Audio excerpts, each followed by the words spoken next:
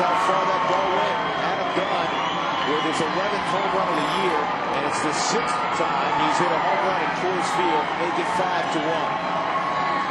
That was like a three-quarter swing, and he hit it 420. He didn't even hit that ball hard. It didn't look like.